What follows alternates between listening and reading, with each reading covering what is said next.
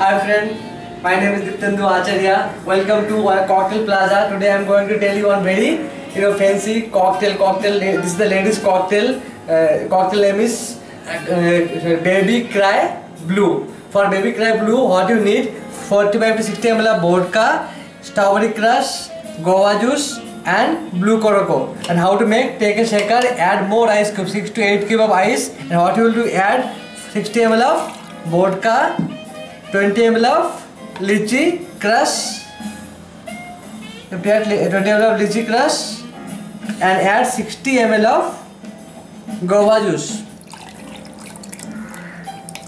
Guava juice, and after that, what you will do? Just shake the cocktail. You have to shake more time for cocktail.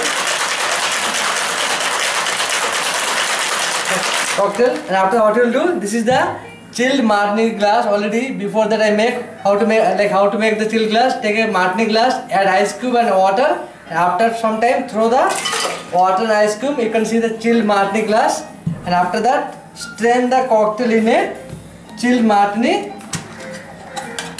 glass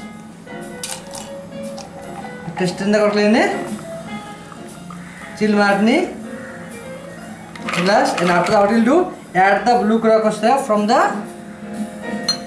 slowly add the blue crocus and garnish with or apple slice. This is the very fancy cocktail.